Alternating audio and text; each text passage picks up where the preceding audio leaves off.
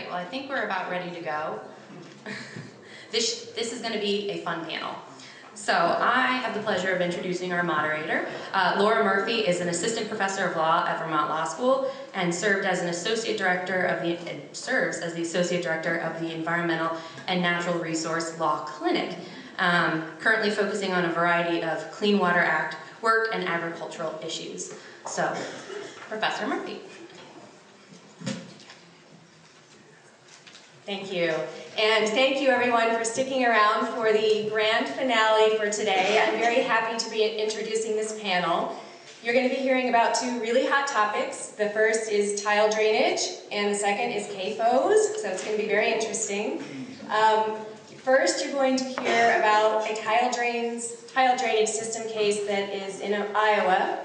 That case was just filed in January, and we're going to have two people talking about that case with you. First, um, Jerry Anderson, who's a professor of law at the Drake University Law School, will be speaking with you. And he also does some public interest lawyering on the side, is that correct? Correct, great.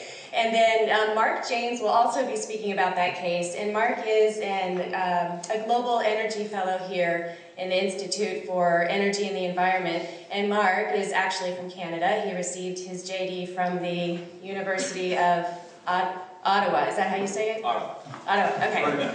Ottawa, okay. and then after that, we're going to hear from um, two attorneys who are actually working on a case about a CAFO out in the state of Washington. First, we will hear from Deb Kristensen. Deb is a partner at the law firm Givens Pursley out in Idaho, and she is part of the team that's representing the defendants in that case. After that, we'll hear from Charlie, seated on the very end. He's going to be up on the screen in GoToMeeting. He's out in Eugene, Oregon. And Charlie Tebbutt is the founder of the law offices of Charlie Tebbutt, and he's part of the team that represents the plaintiffs in that case out in Washington. And I have just a short question that I'll pose for the panelists to be thinking about during the panel. And, and just so you know, because we're starting late, we're going to go maybe till 5.30 or so, so we will have time for questions. Um, but we may not go that long, we'll see. Um, but just to be thinking about what is the actual long-term solution for agriculture and waterways. Uh, how do we ensure that agriculture does not and will not contaminate waterways? Second part of that question is, assuming there is such a solution, um, how do we get there? And with that, I will turn it over to Professor Anderson.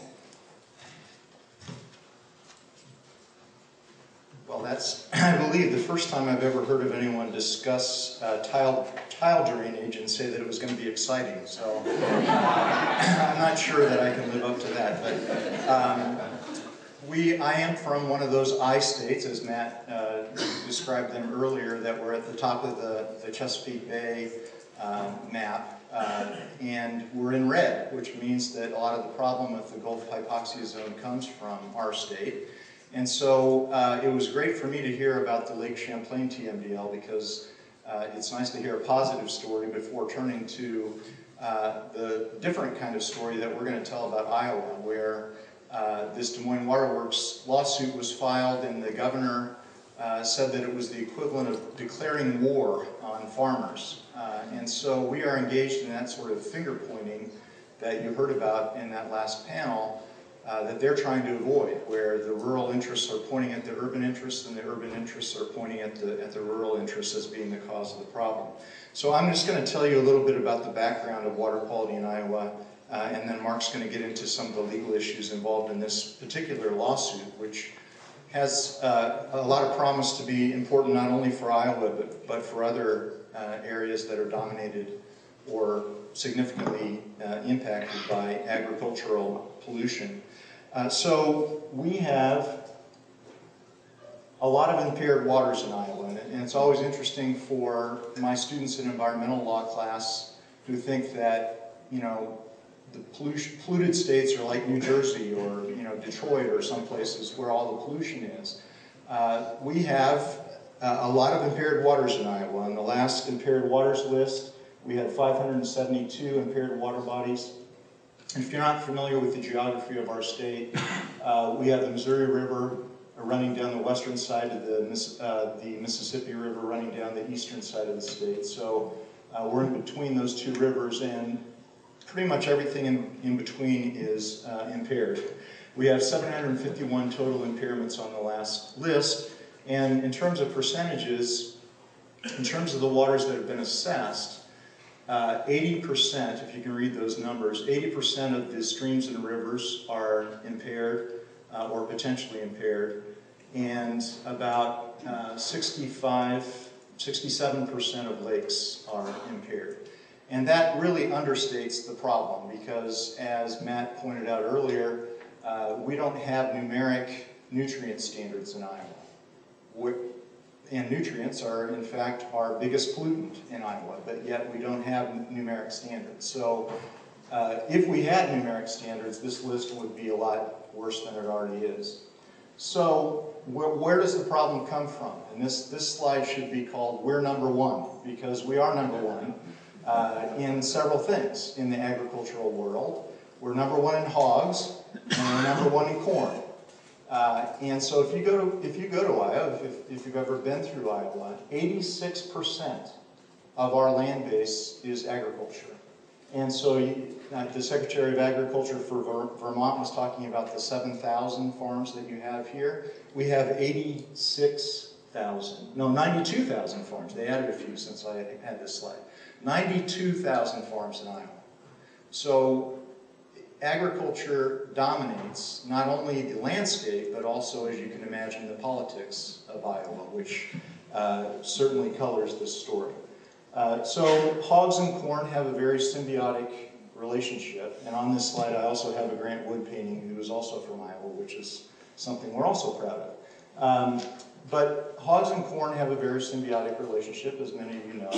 Uh, hogs eat corn, and then they produce manure, which corn needs to grow. So corn needs a lot of nitrogen uh, to grow, and so hogs provide a lot of that nitrogen. So farmers uh, love hogs because they can then use the nitrogen on their, on their corn crop. Uh, we also produce a lot of eggs. We're the number one uh, egg producer in the country, although North Carolina goes back and forth with us a little bit, so it depends on the day. Uh, but there are places in Iowa where you have one facility that has six million laying hens in one farm. Six million. We won't go into the animal welfare aspect of that because that's a whole other hour talk that we could have. But uh, there's a lot of guano being produced by those uh, hens, as you can imagine. And then we have soybeans. We're also the number one soybean producer. Why? Because soybeans are, are a nitrogen fixer, so they take nitrogen from the air and they put it into the soil. So farmers who grow corn switch off with soybeans because the soybeans then can help them use less fertilizer the next year. But as a result of that, legume fixation uh, causes a lot of the nitrate problem in the waters. So enough of the agricultural um, primer, but the result is that we have a lot of agricultural pollution. Um, and this has already been discussed, so I don't need to go into it, but you know that a lot of it is nutrient-based uh, and causes not only problems for us, but also for the Gulf of Mexico. So, if you take the Raccoon River TMDL, and as uh, Laura mentioned, I've done some uh, public interest law, including the TMDL uh, programmatic lawsuit in Iowa. So, uh, as a result of that suit, uh, the Iowa DNR did this TMDL, and one of the questions that they had is, it's not going to do any dang good because we know that 90% of the problem is non-point, and we can't do anything about that. And lo and behold, when they did the TMDL for the, night, the Raccoon River, which runs through Des Moines, uh, is impaired by nitrates. Uh, Des Moines gets its drinking water from the, the Raccoon River. They did the TMDL and 90% comes from non-point source pollution, which I know I'm not supposed to say non-point source. It's supposed to be uncontrolled pollution uh, that is currently not regulated as a point source, right? Uh, but in the TMDL, they refer to it as non-point. 85% of that is coming from agricultural land, both in terms of fertilizer and legume fixation. So, um, so it's a lot of our problem is non-point. I'm going to blow through these because you already know about the hypoxia problem. We've had probably 15 different people mention it, but you, I just want to, want you to remember that the red states up there at the top, where all the hypoxia, well, much of the hypoxia is coming from, includes Iowa. Uh, If you look at that big red area, that's us. So this problem of uncontrolled nutrient um, agricultural pollution is affecting not only us and our drinking water, but also uh, a lot of other people as well. So what is our strategy? What are we doing about it? Well, unlike Vermont, apparently, um, our Department of Natural Resources has really no control over non-point agricultural pollution. Um, and so when they did the TMDL, they, their hands were tied, literally, in not being able to do anything about it. Uh, and so, as Matt can tell you, uh, the, the plan in Iowa uh, is, is this, the nutrient redu reduction strategy. We have to reduce our nutrient inputs by 45% uh, of nitrogen and phosphorus. And in order to do that, it says 93% of that is coming from non-point sources. 93%. And so how are we going to do that? Well, we're going to do it with it. We know how to do it. We have in the nutrient strategy, we have a lot of stuff that could help. For example, you can get farmers to plant cover crops. So after they harvest the corn, which is going on right now in Iowa, uh, if you put a cover crop on, you can reduce nitrogen uh, runoff by 31%. If you um, have uh, a wetland installed to catch the runoff before it gets into the river, that could be a 52% reduction. None of this stuff we can make anyone do. It's all voluntary. So how much is it going to cost to, to reach that 45% reduction goal? Well, if you, they, they figured that out in this plan as well, uh, and they figure, okay, well, if, and rather than have you read these numbers, I got it summarized here. Basically, it would cost from 1.2 billion to 4 billion dollars of capital investment, and annual costs from 77 million to 1.2 billion. So here's our plan. It's all voluntary. It's going to cost between one and four billion dollars, and so the legislature uh, approved 22 million dollars in uh, appropriations last year. This year, it went down. So you can see at this point why the Des Moines Water Works is feeling frustrated. Uh, we have, I'm going to talk about this later, we have the world's biggest nitrate removal system in Des Moines. We're very proud of that as well. Um, it is nearing the end of its useful life. It's going to cost uh, $100 million, I think. What, what do I have in there? Um, a lot of million dollars to replace. It costs a lot of money every day to run. It used to be that we were just running it in the summer uh, after the spring runoff when we get high nitrate spikes. Now they're running it almost all year round. So we have to do something about it. Bill Stowe, who is this guy right here, is not shy. He's willing to take on the very powerful agricultural interests in Iowa. And so the Des Moines Water Works filed suit uh, against uh, several drainage districts, which uh, Mark will describe, uh, for their pollution of the Raccoon River. Uh, so his stance is basically that we can't wait for this nutrient management strategy to work. It's all voluntary.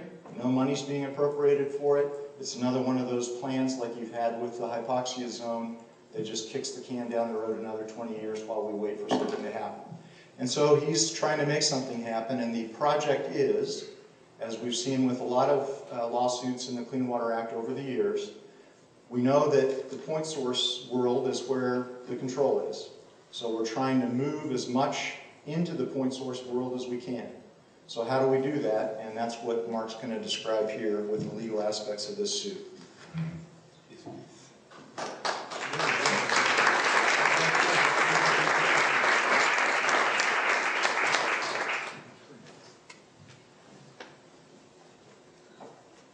While we get my slides up, tell a very brief story. that has a theme that runs right through the last panel. So the first time I encountered tile drainage, my father was sitting on a backhoe. There's this hole that's six feet deep, there's water that's three feet high, and my rubber boots are about two feet high. And he's telling me to hurry up. So we're at the end of the day, we'll try and hurry up too, so we can get good. Um, and tile drainage is a sexy topic, no matter what any of it.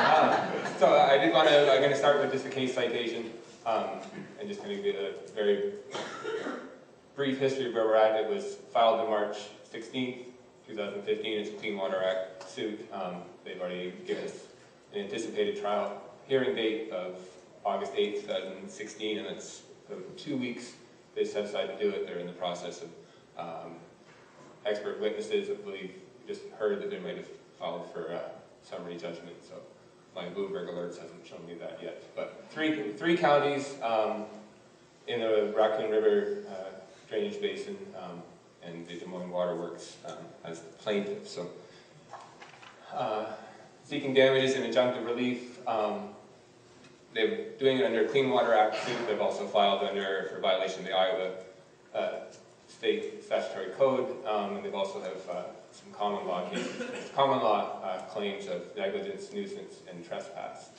Um, but what they're in reading their statement of claim and their statements of defense, you have two opposing views. One, which the Waterworks claims it's coming, pollution's coming from groundwater and requires an NPDES permit.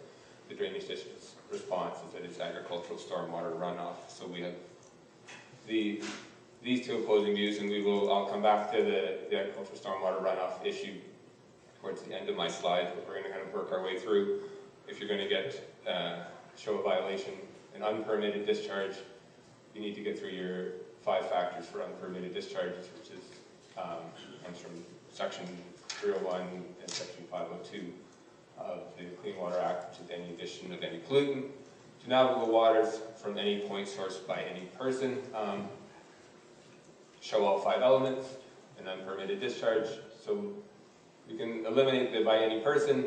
Uh, the drainage districts are a creature of statute. They have the ability to own, manage, supervise property. They can collect fees. Um, to navigable waters, there's already uh, a TMDL for the Raccoon River for the where the pollution's coming um, of any pollutant.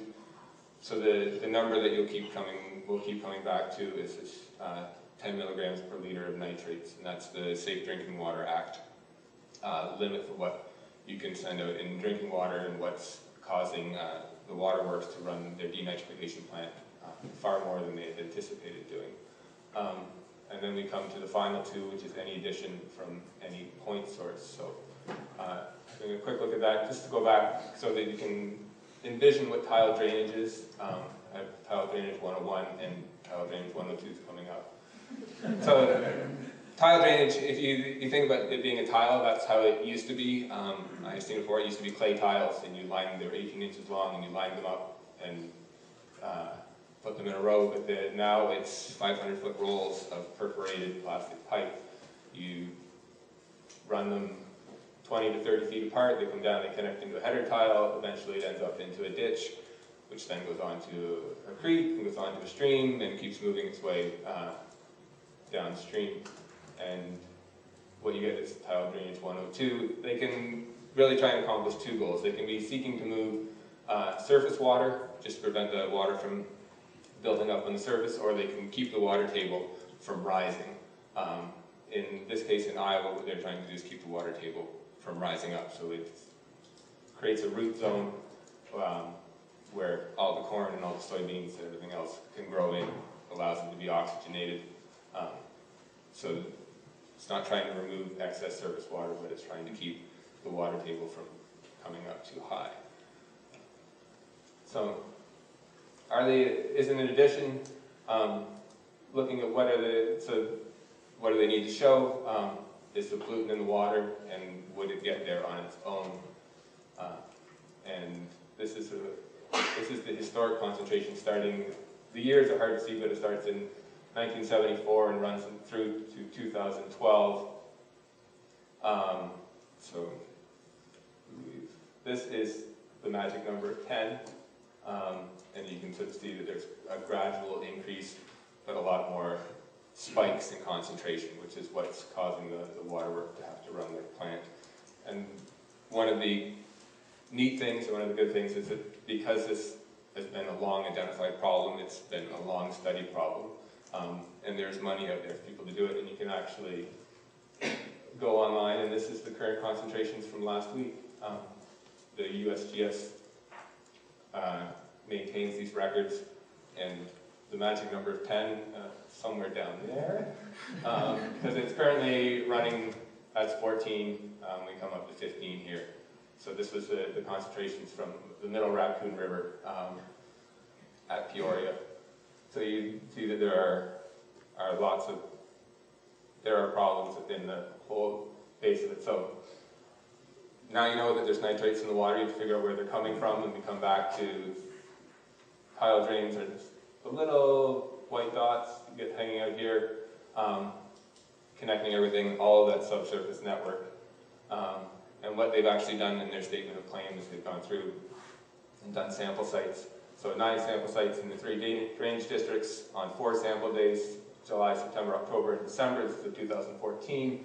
Um, and nitrate concentrations ranging anywhere from almost 13 up to almost 38 milligrams per liter, which once again, much higher than the magic number of 10 milligrams per liter. And the timing of those measurements is lining up with concentration spikes at the water treatment plant. Um, and I think one of the things that Jerry did mention that they're running the, the denitrification plant more and more. Now it runs sort of like 25% of the time it was anticipated just to come online and be a, a temporary uh, solution to um, specific times of the year when they would see spikes during the spring. Um, and they'd also see spikes during the fall whenever you are past your growing season and you're still having uh, significant amounts of water coming off the land. Uh, so would it get there on its own? Um, tile drains speed up the water movement by about a factor of two, which shortens your residency period. It's just moving groundwater faster. When it moves groundwater faster, it's moving more of it. Um, and the streams in this area are receiving the majority of their yearly discharge from groundwater, um, which when we get to the agriculture stormwater uh, runoff exemption is an important thing we're going to discuss. So I think I actually have these two out of line, but I'm going to go ahead and talk about them in this order. Um, so point source, so it, we know that the, they can come down, they've done the end of the pipe measurements, and we come back to, all right, we have a, a point source. Um, so I've highlighted some of the, the key terms here, which are pipe, ditch, channel, tunnel. This is pipe running underneath the ground, it's coming out into ditches, coming and moving through channels. Um, and then the very important exclusions at the bottom of agriculture, stormwater discharge, and return flows from agriculture. Um, this is just a, a separate point here, just a couple of pages. So point source is not required to be the original source of pollutant, only that it conveys the pollutant. Because you're dealing with a mix of drainage district owned, um, if it's ditches or tiles, but they're also connecting onto privately owned um, tileage systems. So they are moving, they are the endpoint that's going to come out and do the discharge, but it's coming off of private land um, where those landowners have invested in the tile drainage and the maintenance of that tile drainage, and that comes from the Miccosukee case. And I'm not sure if this is, the next case is something that Professor Tuholske um, litigated, and it's actually, it's connected in, it's a groundwater discharge case, although it, it focused on what was a pollutant, it was dealing with coal bed, methane, coal bed methane, and uh, the discharge in that, what they were doing was pumping uh, groundwater into a, a river, and then, so they're, but they're not doing any additional alteration, which is what you can say is happening here in Iowa as well, that they're simply moving the water from the land, um, and it, whether or not it would have reached that level of water, but the discharge. There's also an interesting point in the statement of claim, they're not saying it's not just doing any additional alteration, so it's uh, man-induced, but they're also asserting that it can be man-made. The fact that they had pulled the water table down has brought oxygen into the soil, which increases the nitrification rates. So not only are they moving uh, more nitrates just by speeding up uh, the groundwater flow, by exposing the soil to uh, exposing, exposing the soil to oxygen, they're also creating the opportunity to create additional nitrates, and that's, it's in, it's something that will need to be, it's a claim that will need to be fleshed out through, uh, many, many expert witnesses with many, many dollars. Um, so we're gonna go quickly through point source exemptions, um, agricultural stormwater runoff, return flows from ir- irrigated agriculture. Um, so the Clean Water Act doesn't have a definition, doesn't define agricultural stormwater runoff, so it's really been defined through case law, um, and these are three key agricultural stormwater cases, all dealing with CAFOs. Uh, first one is Southview Farms, um, and is there a connection between the discharge? Is the discharge a result of precipitation? And it's not that it happens at the same time as a precipitation event, that it is the result of a precipitation event. Um, Waterkeeper, uh, the Waterkeeper case talks about uh, land use application, um, and the exemption applies if you have appropriate agricultural utilization and the use of site-specific nutrient management plans. And then the last case um, in alt um, is refining the agricultural purpose definition, and if it's related to agriculture, it can be outside of uh, land-based application, although it's not a production area, it can be other areas as well. Um, Almost at the end, um, I did want to return to irrigated return flow, because they, this is a, a recent case that actually dealt with uh, tile drainage, but it was for the purpose of removing water that had been applied um, for irrigation purposes. Um, And it's, it's the only reason, the pro- the project, this is a case from California, um, out in the uh, San Luis uh, drainage area near Fresno, um, and it comes down to discharges from irrigated agriculture that do not contain additional discharges unrelated to crop production. The exemption covers that. Um, So then we'll come back and we'll end with my favorite picture. Um, So it's a summary kind of of what we know and, and what they're going to have to talk about. So we know that water flowing across the top of the, of the soil agriculture stormwater runoff. There's a, Professor Owens had a, had a picture in his uh, presentation earlier this morning. You can, when you see water sheeting off and you get gully, we know that water coming from, uh, discharge from groundwater, there's case law showing that that requires an NPDES permit, especially if you are moving it, um, when it would not have otherwise been connected. And what we have is this magical mystery area in here, where one, you have a claim that they're creating more nitrates in those areas, and two, where does agricultural stormwater, which moves across the top, become groundwater, um, which could be subject to a, a permit?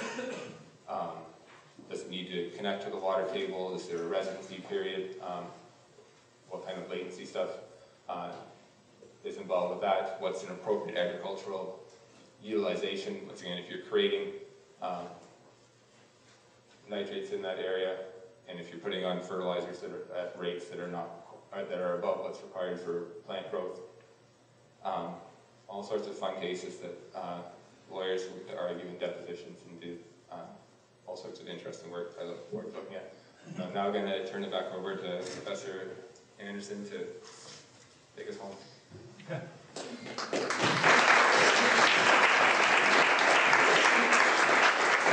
So you you may not have heard of tile uh, drainage before. Uh, If you, in Iowa, it really stems from our uh, history in terms of the glacial period. Uh, The glaciers came down to about Des Moines and then retreated back, and as a result, uh, the geology of the area is such that uh, you really, in this part of Iowa, uh, where these red areas are, uh, and so that you can see how it matches up there. Uh, It's basically the upper reaches of the Raccoon watershed.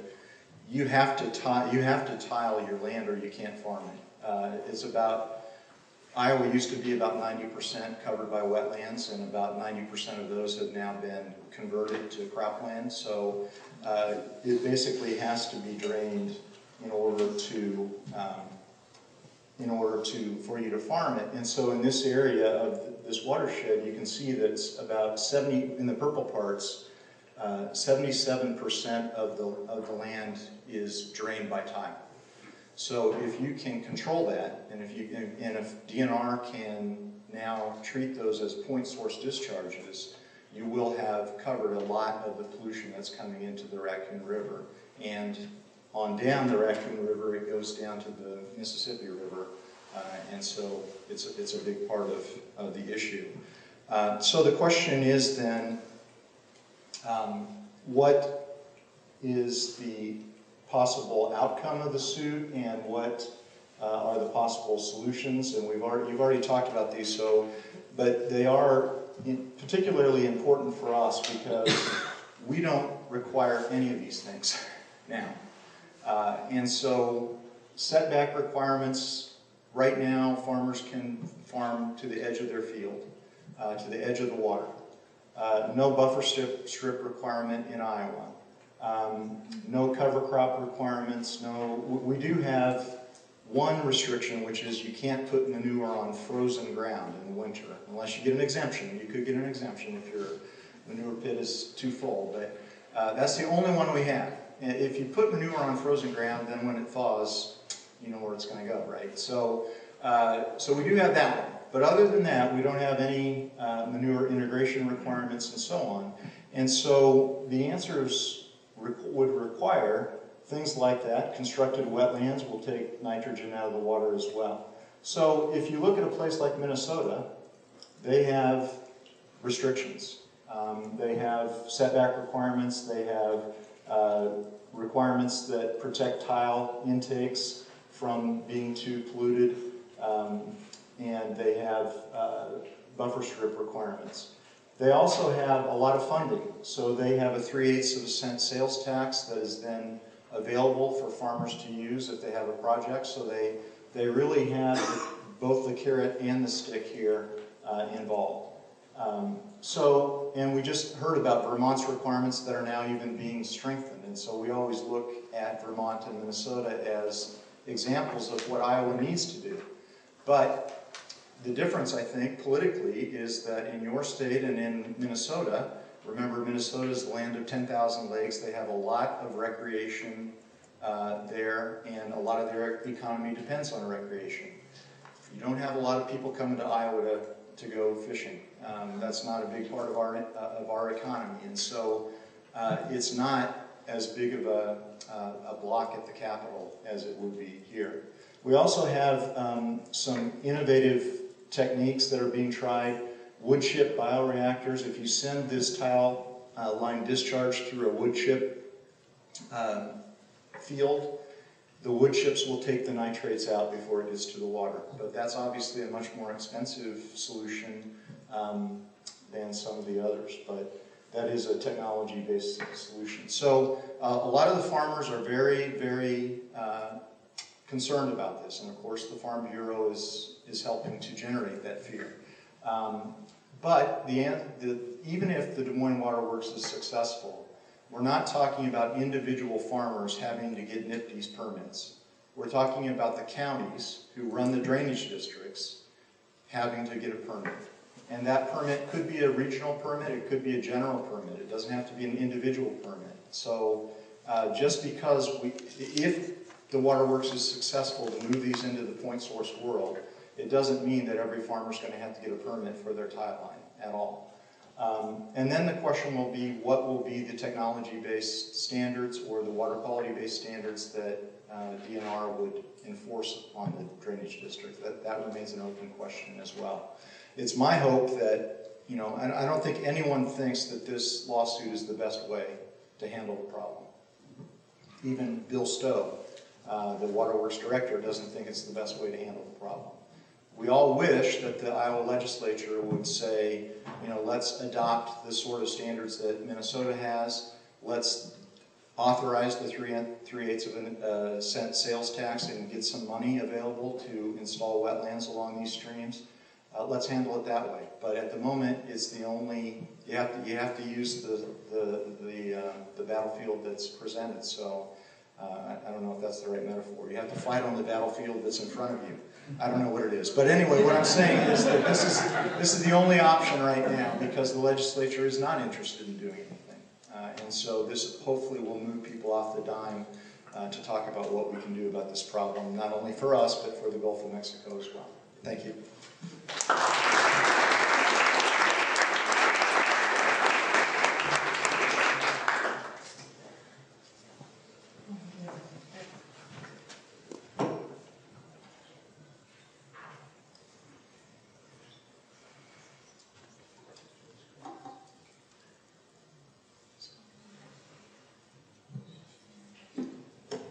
Good afternoon. I've been here since eight o'clock, so I feel pretty lucky that I get to talk to you now and it's almost five o'clock. And so, um, thanks for having me. I'm Deb Kristensen. I came in from Boise, Idaho, and I sure do love Vermont. I've had a day and a half to kind of explore your part of the world and I feel real happy.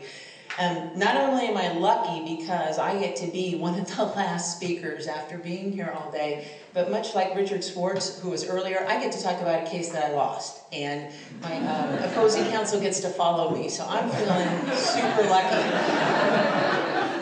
Good day for me, right?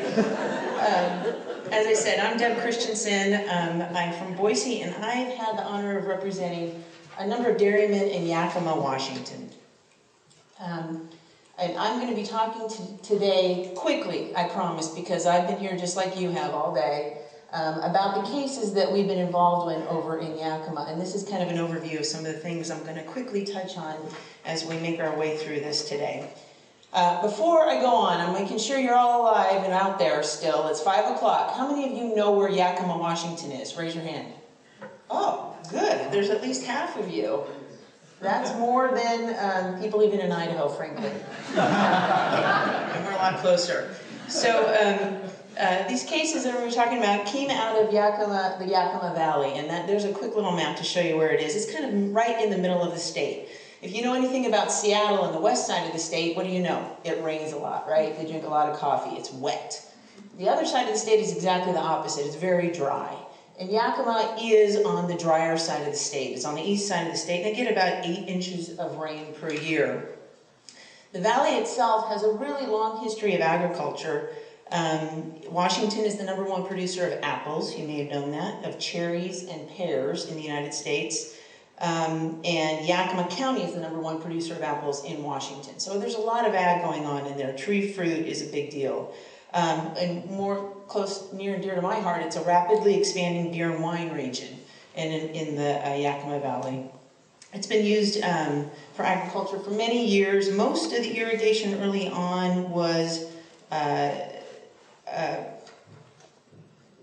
was just flood irrigation. So there was, you know, they put water on it, it'd seep down, too much water it'd go through, but for many, many years it was doing that. Last 30 years or so, they moved away from that. Um, animal agriculture has been in the valley since the late 1800s. Um, dairies, um, have, the cattle was first uh, in the valley in the 1850s, and uh, dairies uh, started really expanding their operations in the late 1970s. Uh, the dairies in all of Washington state are all regulated under dairy nutrient management plans and NRCS standards. This is a really quick just visual of the Yakima Valley and I know no one can read that. Even if you were up close you'd have a hard time reading that. The red are the municipalities. That's marks where the actual cities are in the valleys. The yellow marks nitrate concentrations in various um, levels from 1990 to 2000, and then the green shows you nitrate concentrations from 2001 to 2010. And I just show you that to show you that there are nitrates throughout this valley, not just in agricultural land, but spread out through the entire valley. Is that surface water nitrates or groundwater? Groundwater. That, um, there have been, um, and what that, that shows you is there's been nitrates above the exceedance of 10 MCLs for nitrates in groundwater for a long period of time.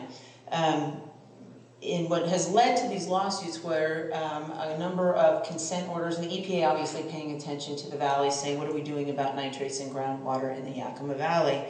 Um, and uh, one of the things that EPA did was um, approach a number of dairies and have them enter into consent orders. And this is how we got there. Starting in 2008, the local newspaper, the Yakima Herald, ran a number of stories about nitrates in groundwater and their potential effects on human health. Um, a year later, the EPA designated the Yakima Valley as an environmental justice showcase, and with that came money. And a study was done then in the Yakima Valley looking at nitrates in groundwater, and that study is what started pointing the finger at the dairymen that I now represent or have represented, starting in 2013. During the period when EPA was looking at nitrates in groundwater, they approached the dairymen that I end up ultimately representing and saying, look, we think you're the, we think you're um, at fault here, and we are going to come after you and enforce um, the provisions of the Safe Drinking Water Act unless you agree to you know, enter into consent order, the voluntary, voluntary consent order. Um, I did not represent these dairymen during that period. They had other outside counsel, but over the course of a year or so, um, a number of dairies did agree to enter into um, consent orders with the EPA with the hopes of alleviating whatever problems and issues that they had, and that they could address those with the EPA and move forward and potentially avoid litigation. I know you can't see the very top of that slide because of that, um, but the specific dairies that were involved were um, four different families representing five different dairy operations. Um, Cow Palace is a name that you might have heard of or seen. Um, that was uh, run and has been run by a family called the Dolsens. Um, that was the lead case out of a, it started off as five separate cases and ultimately we ended up with three cases. I'll tell you how we got there. Uh, but the three families at issues were the Dolsens, DeRuyters, the Bosmas, and the Hawks. Um, all, each one of the dairies that were subject to the consent order with the EPA had been subject to and had dairy nutrient management plans with the Washington State Department of Ag, and all have been subject to regular inspections by the Department of Ag. Um, as you can see, of the five dairies that were at issue, four of them entered into the consent order. The fifth one, the Hawk Dairy, did not. They just, at the time, they just, they were a much smaller operation, and I'll show you a map in a second. They were physically separate. They just couldn't afford to enter into it and to, to continue doing that. Um, as I mentioned, the EPA's consent order was predicated on um, the emergency provisions of the Safe Drinking Water Act. And some of you may remember that, but given the lateness of the day, I'll tell you what section 1431 says, is in order for the EPA to act under these circumstances, they must, um, they have authority to act where one, a contaminant is present in underground drinking water supply, two, the contaminant may present an imminent and substantial endangerment to human health, and three, state and local authorities have not acted to protect public health. When those situations have been met, the emergency provisions of 1431 apply and the EPA can act. That's what they moved under.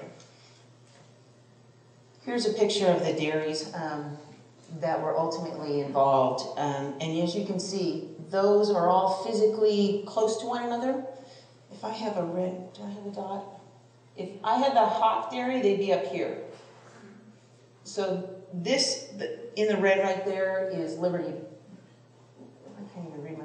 Liberty, Bosma. This is Cow Palace, and these are DeRuyters, back and forth. This is some of the dairy. So Hawks would have been over here. That's the one that didn't enter into the consent order with the EPA. They were a much smaller operation, and they were physically separate from them. So I'm just telling you that because they're a little bit different than the other ones.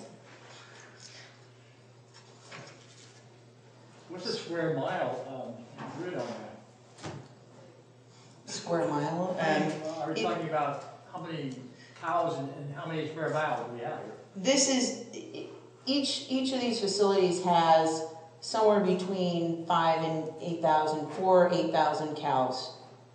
The DeRuyters are two different facilities, lower up here and up here. See these? They're spread out. Um, I don't have the. It you could walk it. It's it's not ten miles, but it's probably maybe here to here is a mile. I can't see that. That's two miles. I didn't anticipate that question. That's- Sorry. That's two miles right there, so it's, Sorry. that's two miles right there. There you go. So two by two, two by three, up and down. And I don't, I'm not gonna go through all the different, um, requirements of the EPA consent order that the dairies enter into, but, um, they were significant and are significant because the EPA order is still in effect. And it includes providing alternative drinking water sources, installation of a, a series of groundwater monitoring wells with quarterly sampling, um, uh, soil sampling, um, assessing all the lagoons. Each one of these facilities had a number of lagoons that um, were built under the auspices of the NRCS standards. Uh, there was an issue about, uh, you know, it's built from starting in the 70s all the way through the present, and what kind of paperwork did anybody have to prove how compliant or not compliant they were when they were built was one of the issues in the case. Um, we allege that they were all built to NRCS standards. Some of the paperwork was not available, and ultimately I'll, I'll talk about that. Um, but NRCS has standards, national standards, for how li- liquid manure can be stored in different um, lagoons. It's one times ten to the minus sixth is the permeability standard. You get another order of magnitude with a manure seal. I know way too much about manure that I ever knew, but in any event, those are the standards that NRCS has established. A number of uh, detailed plans, both irrigation water and field application plans uh, were required to be uh, produced and had been produced. Um, An agronomist was hired by each of these to follow specific guidelines in terms of field applications. Um, And it was an eight-year timeline with the potential of going longer if certain goals were not met. So that was what the EPA and each of the dairies entered into. Um, and that's what our dairymen entered to, thinking this is bad, but in terms of, oh my gosh, we got all these new requirements, but okay, we know what the deal is. We can put our hands around what is required of us, let's move forward. Not yet. Um, and this is why I'm on the cutting edge litigation panel, is because you, we've been talking about Clean Water Act all day, right? You haven't been talking about RCRA, because RCRA has not traditionally been applied to um, animal agriculture. So a quick little primer on that. RCRA um, is under the Solid Waste Disposal Act. It's a comprehensive environmental statute intended to address the nation's industrial wastes. RCRA regulates two types of wastes, hazardous wastes and solid wastes. And then solid waste is defined as any garbage, refuge, and any discarded material. And you can see the rest of it, including uh, things from animal op- agricultural operations. Discarded is the key phrase there. Discarded material is not defined in RCRA, but courts dealing with this have held that a substance is discarded where it is disposed of, thrown away, or abandoned. So those are kind of the key words to keep in mind as we talk about RCRA. A quick look at the legislative history of RCRA. When it was enacted in 76, the legislative history made clear that agricultural wastes that are, quote, returned to the soil as fertilizers or soil conditioners are not considered discarded under RCRA. Uh, for almost 40 years, EPA never brought a RCRA action against an animal um, agricultural operation alleging that its manure constituted solid wastes. And at least one case in Oklahoma, a Tyson Foods case involving chicken litter, um, where uh, allegations were made that the chicken litter falls within the solid waste definition of RCRA, were, were um, dismissed at the motion to dismiss case. So that's that's what's leading up to. We've the dairies have entered into this EPA consent order. This is the history of RCRA. Um, you'll hear from Charlie, and he'll tell you why he decided to go this way. I'm sure he's chomping at the bit. Um, uh, but um, Charlie represented uh, two different environmental groups, a local group and a national group, and they filed notices of intent to sue in October. This is before the uh, EPA study was actually finalized, although versions of it had been out. In February of 2013, went ahead and filed the five separate but identical RCRA citizen suits in the Eastern District of Washington, in federal court there, and it was assigned to a relatively newly appointed judge, Judge Tom Rice. And basically, the allegations were that, that the manner in which each of the dairies used, handled, and stored its manure constituted um, a violation of RCRA's bar against open dumping, and that posed an imminent and substantial endangerment to health and the environment. And the specific allegations, and I'm boiling it down because it could get very complicated, but the big, big ones that we can get at 5 o'clock in the afternoon on a Friday were that the liquid that was stored in NRCS compliant, even if they're compliant lagoons, they're designed to leak. That was the allegation, that even if you meet the NRCS standards, because there's some permeability and something gets through there by design, and that's what the standards call for, that's a discarded material and you're not going to use that, and that's a violation of, of RCRA. The other allegation was when dairies over apply manure, that is, they take their manure and apply it to the crops, and all of it is not, not used by those crops, and there's residual left in the soil, that that too is that over application is a discard. You're not using it. Those are the allegations made under RCRA. The litigation uh, uh, began in earnest, and uh, was um, uh, active. Let's put it that way. It's very active. Um, we brought the defendants brought a motion to dismiss, um, arguing that it was uh, that the lawsuits were duplicative and inconsistent with the EPA's consent orders. That those activities and substance had already been addressed by EPA, and they did not need to be brought um, uh, under this provision, uh, under any environmental provision, the, the EPA has already acted on those specific activities and substances, uh, substances, and that more substantively, that animal manure was not a solid waste under RCRA. Uh, the judge denied that and said, no, I think it's an issue of fact. We're going to see um, how this plays out. We're, I'm going to let this case go forward. That fifth case, the hot case, the guys that were over here, they ended up settling out because they ended up going out of business. They couldn't afford to, they couldn't afford to fight the consent order. They certainly couldn't afford to, to fight this. They sold their cows. They were no longer in business and were able to come to a settlement and get them out. We were left then with those four families that were more contiguous.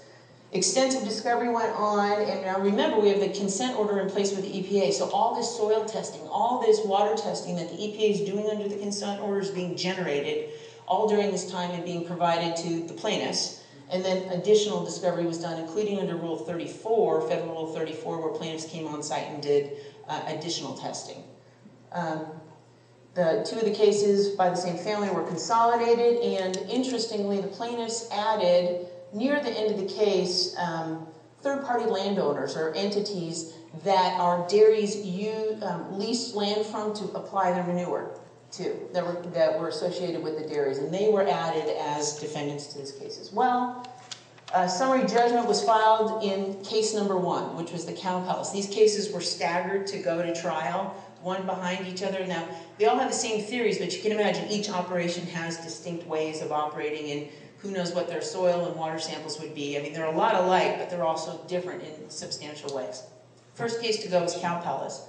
Um, Judge Rice issued a decision on January 14th, and he was the first judge in the country to find that animal manure is in fact, or can in fact be found to be a solid waste under RCRA. His specific holdings are summarized here, and I, I know I'm going fast, but there's a lot. That he did accept the plaintiff's contentions and the arguments made that the manure was overapplied to crops is a discard under RCRA. That manure which escapes from NRCS compliant lagoons is a discard because those lagoons were, quote, designed to leak. And uh, manure that was com composted on native unlined soil constituted discard because some of it could get through the soils. Um, what he left for issues of fact were, um, oh, and he also said that third-party landowners could be liable under RCRA. And then what he left for issues of fact were um, whether or not when cows, as somebody said earlier, pee and poop um, in their pens, whether that constitutes a discard under RCRA. That was an issue of trial, for trial if there was any surface water impacts and any remediation efforts. Because of that, he then set all three cases for a consolidated trial on May 11th. Yeah. So, look what we did. We have a global settlement. All the dairies um, signed a settlement agreement, and there's the date, which, um, which sets forth a number of additional measures that each of them are going to be taking um, to mitigate any environmental impacts from their operation. The intent was to roll those requirements into the existing EPA consent orders and have EPA um, implement and enforce it so that, that we can continue on. We didn't want to get sideways with EPA by settling with plaintiffs, but we wanted to be able to, you know, have something that made some sense. You can see a number of additional uh, things were uh, agreed to, including, look at the lagoons, uh, double lining the lagoons, um, and I'll come back to this because this is something that EPA has to sign off on, and even though we agreed to this in the settlement, we're still subject to EPA, and there's been fighting and fighting and fighting about that. Um, we agreed to put up to a number, uh, a number of new wells in, and then some of you might know about all these cutting edge technologies that are out there about um, environmental uh, ways to protect the environment at dairies. Uh, at the Cow Palace, they um, agreed to put into a, a centrifuge manure separator. Um, at DeRuyter, it's a dissolved air flotation system. Um, we have, um, we already had in place uh, a number of um, other things going on, but this is just quickly telling you we got lots going on here. Yeah. Um, but this is probably, we're talking about numbers. Everybody's talking about we want numbers, numbers, numbers, numbers. This is where numbers came in. If you look at this, and this is with respect to the field applications. If you could look at the newer applications and the numbers that were agreed to for the goals, the 40 number for phosphorus um, in the top foot, in the residual nit nitrate plus ammonium 25 parts per million in the top two feet. Th- th- That's a big deal. Those are, those are, those are numbers that um, uh, we believe we can get to through the following uh, an agronomist's um, uh, instructions. But everybody was talking today about how numbers matter. These are the numbers that came out through the settlement. And just quickly, impacts beyond Yakima, who knows? As somebody said earlier as well. Um, The Cow Palace is the only one that had a summary judgment case. It wasn't gone up appeal. The other ones didn't have any decisions. Obviously, they have unique facts given the EPA consent order. Um, And I am sure Charlie will tell you what he thinks are the impacts beyond Yakima. So I went fast, but there was a lot to cover. Thank you, guys.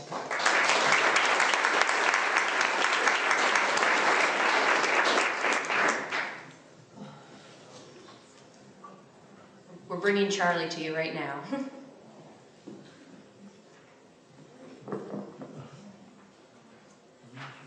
I'm ready.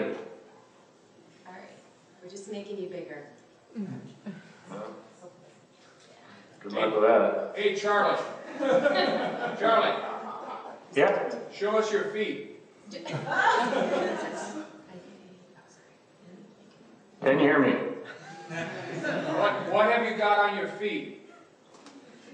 Um, you really want to know? I've been out in the manure fields today. Okay, so you're now the presenter, Charlie, so you can share your presentation with us. Okay, do you see my presentation now? No, wait, yes. Okay, One second. There we go. very good. All right. All right. so am I going to be able to click through it and have it come up? Oh, oh, sorry, you didn't need to do that. Hold on for one second. Click the wrong button. Where are you, Charlie? Orange, no orange. Still here. Sorry, the the cursor isn't very good. There we go. Okay, if you just like play your presentation, I think it should move this out of the way. All right. Are you going to switch the camera so I can see the crowd? Yes. I don't want to look at my ugly face the whole time.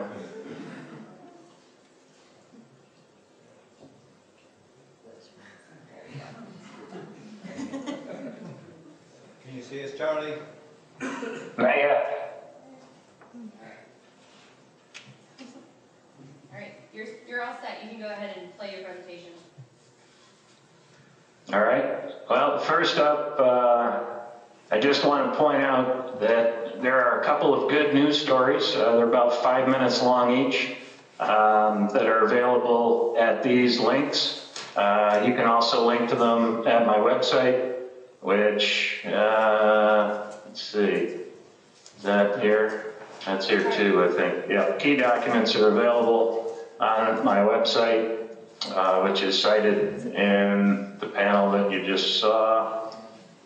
Uh, let's see, there we go, that one. Is that working? The public awareness of the pollution problem, do you see that? No, I, I think it's on your, uh, do you have both your screens going? Yeah, perhaps. Maybe that's the problem, huh? All right, let me, let me try to, uh, try to adjust this so that I only do one thing. Let's see. There you go. You're pulling it into focus now. All right, can you see that now? All right. There you go. Now we got it. All right. So anyhow, uh,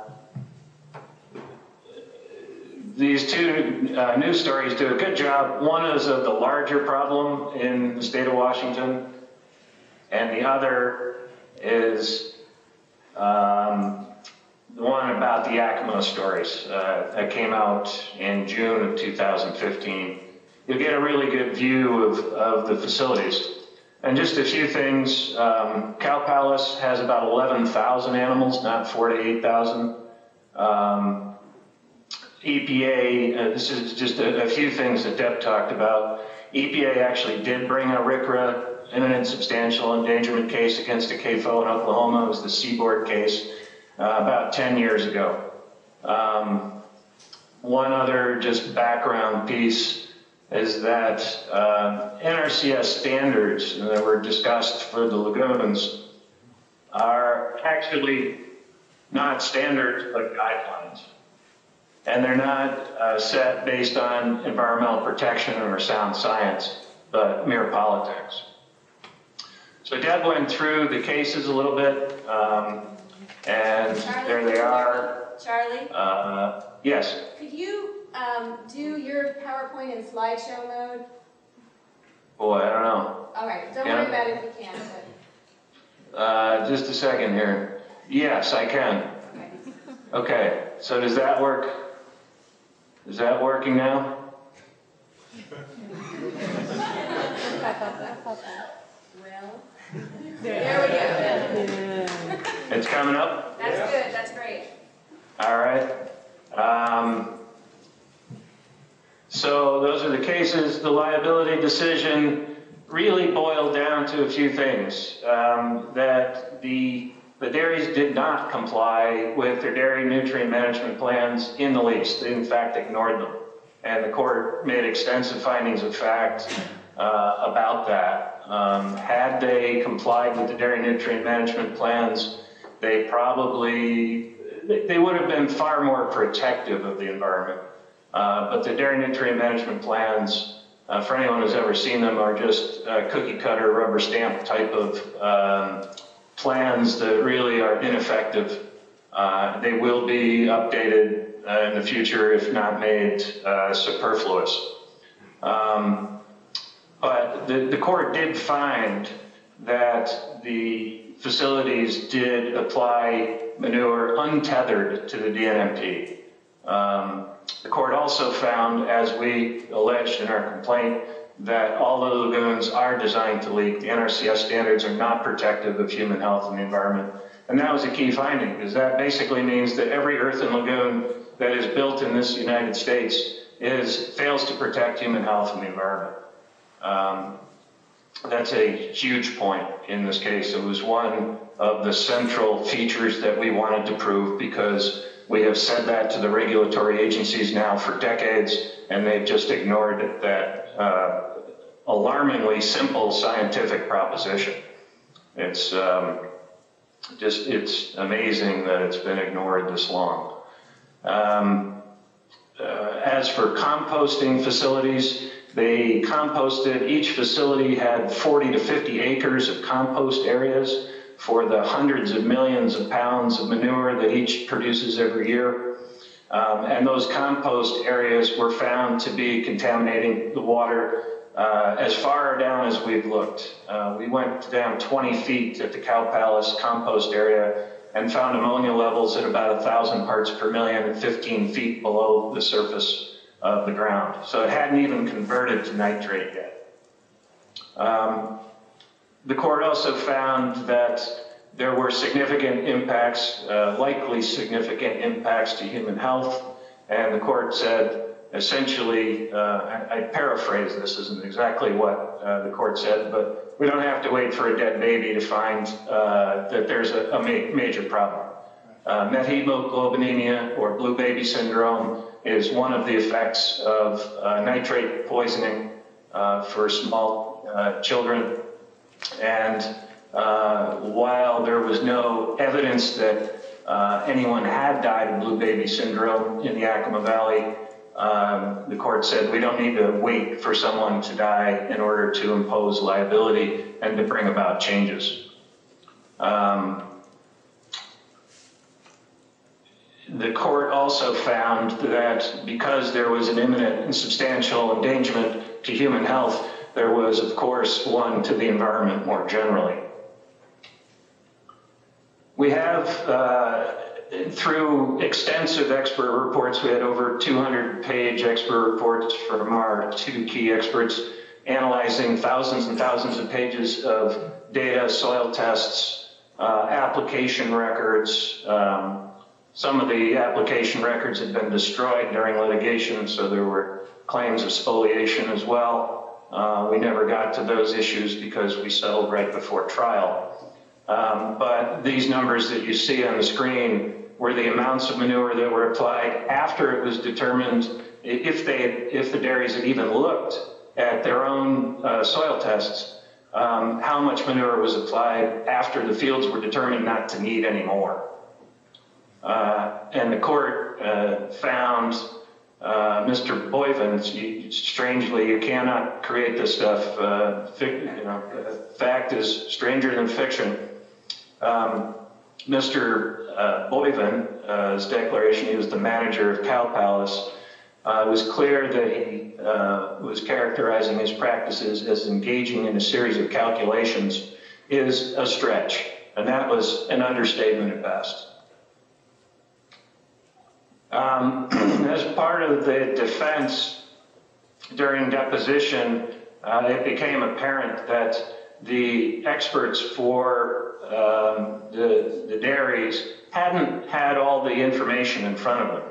So they didn't have information such as um, uh, groundwater temperature data or um, uh, groundwater fluctuation data uh, and certain other types of things like soil tests and um, application records. They didn't have the full set of information in front of them.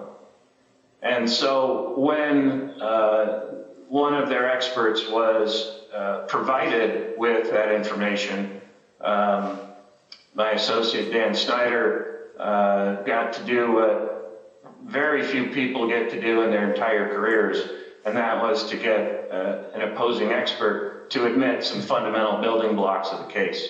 And that is that uh, Cow Palace was more likely than not to be a cause uh, or a contributor to the contamination. Um, doesn't have to be the cause of the contamination, just a contributor.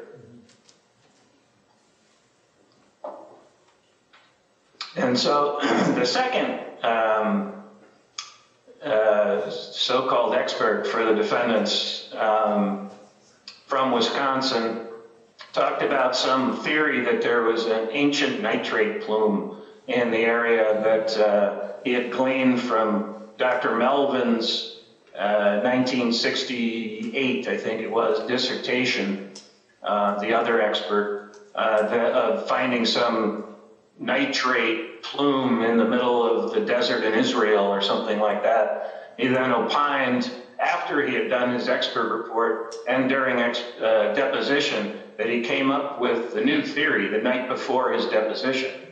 And it was after he had had dinner with uh, Deb and the Dolsens uh, the night before, and he did indeed discuss it with them the night before, and he came up with his hallelujah theory.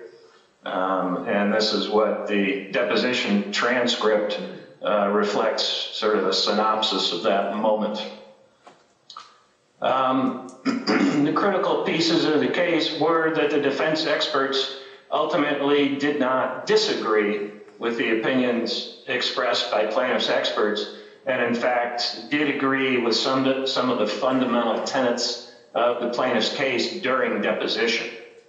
And so uh, the court was able to grant summary judgment based on those facts. Normally, you'd have to go to trial on those situations, but even the defendant's experts had to admit some fundamental uh, background science issues that um, really uh, were incontrovertible, and the judge fortunately found that way and saved us all lots of time and money in going to trial. Uh, one other curious thing was that the defendants moved to strike the EPA report that had been done over a two plus year period, had something like 3,300 groundwater uh, monitoring tests, and came to the conclusion that the dairies were a substantial part of the uh, contribution. Not the sole contribution, that was never an issue, and the plaintiffs never argued that uh, the dairies were the sole contributor to the groundwater contamination, just that they were the predominant one. Even the EPA study indicated that about 60 or so percent of the contamination was coming from the dairies, um, and particularly with what we call the cluster dairies, Bosma, Cow Palace, and the DeRuyters. These particular dairies, uh, in our expert reports, which by the way are available on my website, um, indicated that the loadings of nitrogen in that specific area were in excess of 99% of what the loading uh, possibilities were in the area because there were only a handful of homes uh, that had septic tanks that could have contributed. There were no municipal uh, dischargers or industrial dischargers around that could have uh, contributed. So um, th- there was really not much of a question. And so the remedy is the consent decree, um, and they do not expire in five years, as, as Deb indicated. They will expire potentially when uh, the groundwater levels get below 10 parts per million. Um, and that could be decades. Um, so the remedies are uh, agreed to double-lined lagoons. Uh, those are synthetic liners or geomembrane uh, composite liners with leak detection systems. And this is the first time in the country that uh, I'm aware of where a facility is required to have double-lined lagoons with leak detection systems at a CAFO. Uh, and that's pretty close to the hazardous waste standard for uh, hazardous waste disposal under. Charlie, Um, Charlie, Deb also pointed out Charlie? that uh, Charlie? the, uh, yes, Sorry, you've got two minutes left. all right, perfect. Um, That the, re- the, the reductions that EPA had sought down to 45 parts per million, which were more in the guideline realm than absolute, uh, now have to be uh, reduced to 25 parts per million residual nitrate um, and ammonium combined, and 40 parts per million phosphorus over time.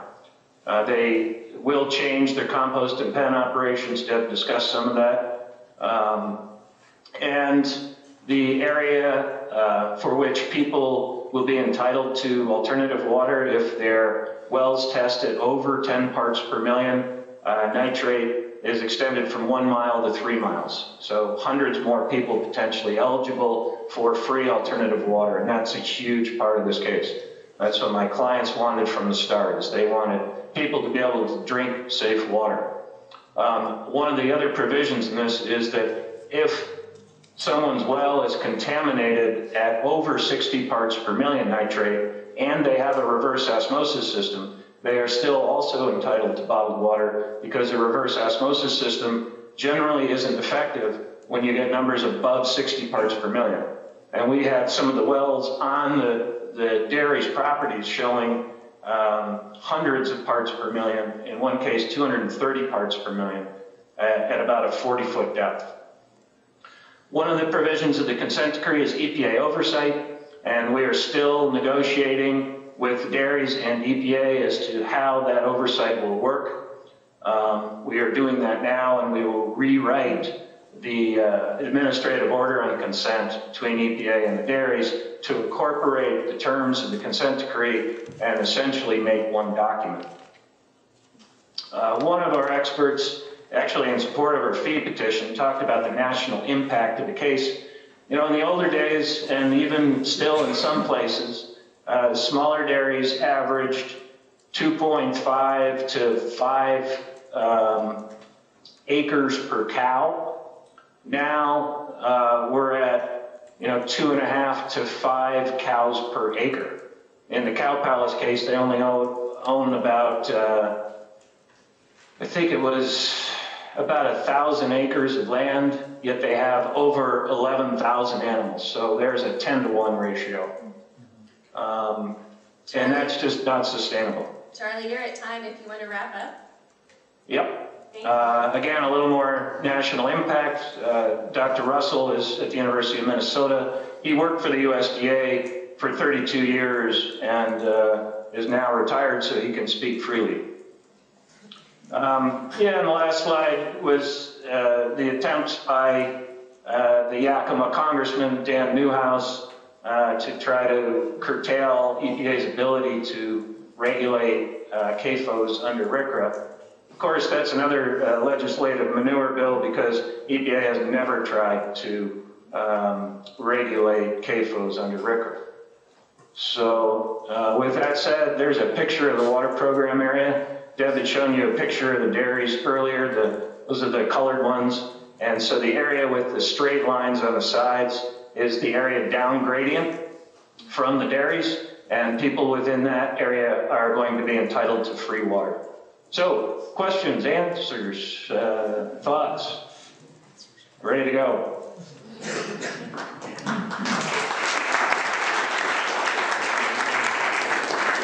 So, VJEL organizers, what do you say, five minutes for questions since we're running late? Okay, great. And, and then Charlie, can you hear me? Yes, I can hear Okay, you. great. Could you unshare your screen so that your picture will be bigger? Uh, Don't see. turn off your camera though. Share my screen. Let's see if this works. Uh, okay, I can see you guys now. Let me get see if I can get that over there. Nope. Let's try. Is that any better? Um, no, hold on one second. I'm gonna make it us.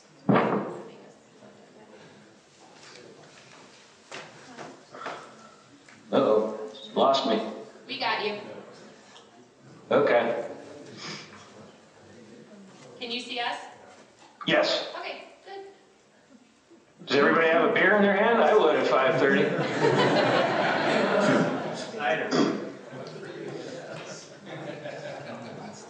A little bit of the uh, Vermont Porter, Catamount Porter, maybe.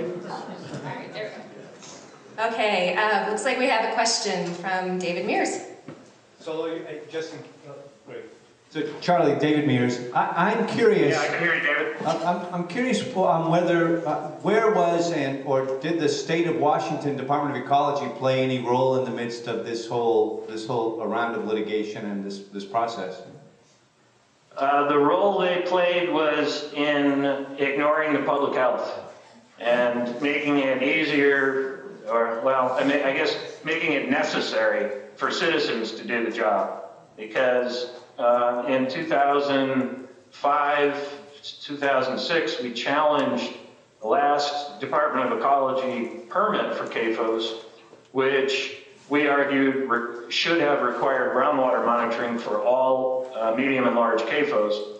And the original draft of the permit from Department of Ecology that came out in 2004 uh, said groundwater monitoring was the only way to know uh, the extent of the problem. That was from their scientists. Uh, the politicians overruled that. Uh, we challenged that and lost that decision in 2006, and now we're here today. Uh, we've known about this problem for a long time, and it's the inaction of uh, the Department of Ecology and EPA that brought us to this point in the first place. Um, we actually, David, also had uh, a great deposition transcript, which is also available on my website, from the regional director um, uh, in the Yakima area, who's a certified hydrogeologist in the state of Washington, who um, agreed with us that the department had been negligent in its duties and that was failing to properly regulate the CAFOs. So what happens is the Washington State Department of Ag is the entity that regulates the dairies in, in Washington. That hasn't always been the case. It used to be ecology. And talk about politics. Ecology is not pleased that they no longer represent or, or regulate, I'm sorry, the dairies and it's ag. So this person he's talking about still has a chip on his shoulder that ecology knows better than ag. And that was, he wasn't given a 30B6 deposition, it was just a guy um, not representing ecology, but as an employee of it. So that's who Charlie's talking about. Thanks. Yeah. Thank you. And the WSDA inspectors that Deb uh, referred to earlier said things like in their recent um, uh, inspections, thank you for your attention to nitrates. Um, so, you know, it, to talk about the politics, the, the head of the Dairy Nutrient Management Pro- Program, Ginny Prest, uh, had actually sent the uh, internal um, non-disclosable draft version of the 2011-2012 permit to the head of the Washington State Dairy Federation. And they texted each other some 35 times each, each month, met at bars, uh, talk about um, industry in bed with the regulators. Uh, This is about as close as it gets. Thank you. We have another question. Yeah, uh, Charlie Oliver. Ha- First of all, just from the dialogue here, this sounds like a hell of a case. It must have been very interestingly contested. Uh, It was the most contentious case I've ever been involved in, Pat. One senses that that something like that is, is in the work. The other question, the, the question is, where's e, where was EPA during the litigation on the RCRA issue? And uh, did they take a position on the application of RCRA? And after the case, have they taken a position on the application of RCRA? Um, EPA has not, did not ever formally enter our case. Um, the documents that they generated under the AOC uh, became evidence in the case, but uh, no, they never took a formal position. I can tell you we asked, because I, can tell you that, again, I didn't represent these dairymen when they were in the negotiations with EPA.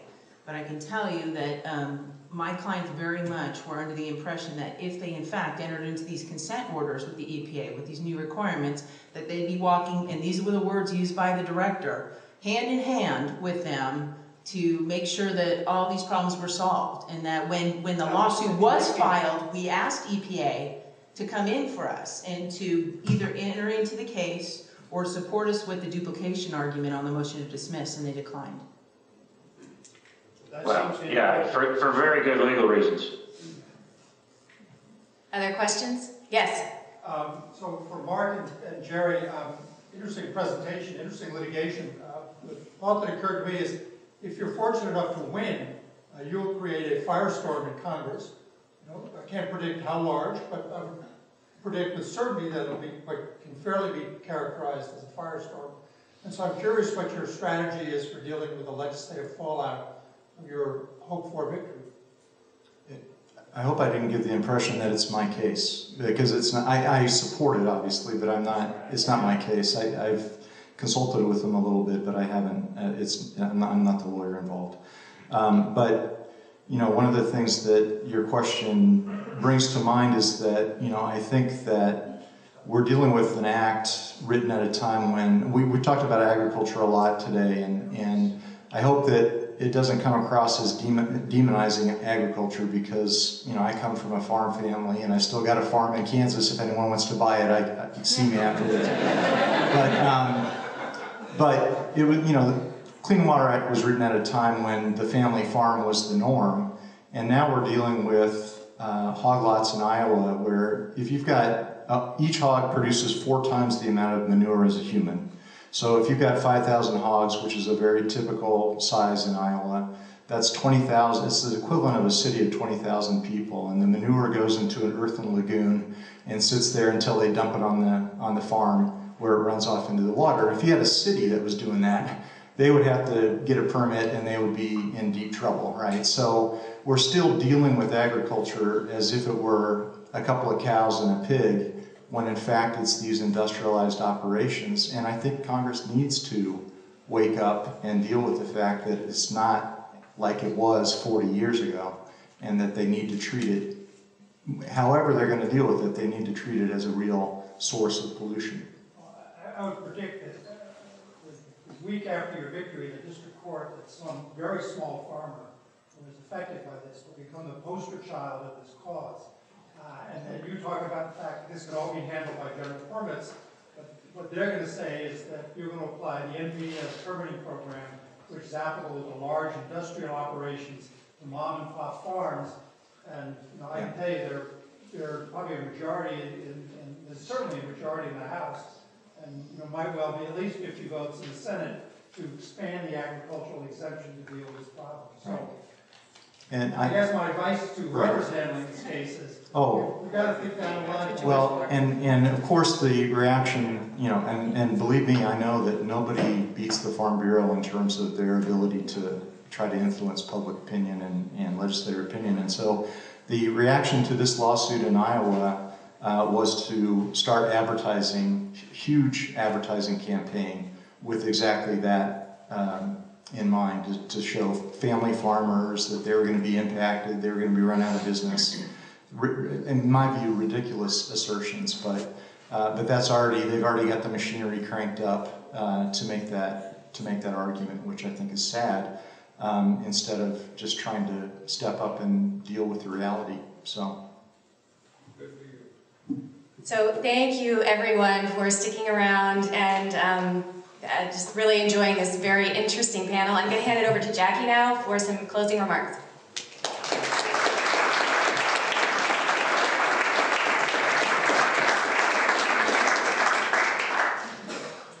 Hi, everyone. Thank you. I know it was a long day, but I think everybody got a lot out of it. Um, for those of you that don't know, VJEL's mission is to provide access, an accessible forum to discuss contemporary environmental legal issues, and I think we accomplished that today. So everyone, a round of applause for yourselves. Questions were great, speakers were great. Um, so Kelsey and I, on behalf of VGL and the exec board, um, hope that you all enjoyed today and that you walk away with some new insight um, and hopefully some new questions that will help you find even further insight um, into a lot of these issues that are going to keep coming up. Um, we have so many people to thank, and I'm sure I'll forget some, but first of all, to all of our moderators, thank you for taking time out of your busy schedules and helping us put this together. Uh, we really appreciate it. To um, our wonderful keynote speakers, Dave Owen and Oliver Houck, really some great great takeaways, I think, and, and at least made me think. What about you? Um, uh, we also need to thank uh, Bill Bond, who's not here right now. He might be running around, but he helped us set up all the mics, all the projectors, get Charlie in on GoToMeeting. so thanks, Charlie, for sticking around. Um, and we figured it out. um, and we want to thank Martina, um, the wonderful lunch that you enjoyed. That was all the catering staff here, and they're amazing and really good at what they do. Um, and particularly want to have a special thanks to Pro Professor Parenteau. We could not have done this, any of this, without you. You held our hand through it. You kept us from going a little, a little crazy. Um, you kept us in line, and you helped us, I think, get a better appreciation for the subject and uh, just for what it takes to put one of these together. So thank you, You're thank the you, best. thank you. um, so on that note, have a great day, guys. thanks for thanks for coming.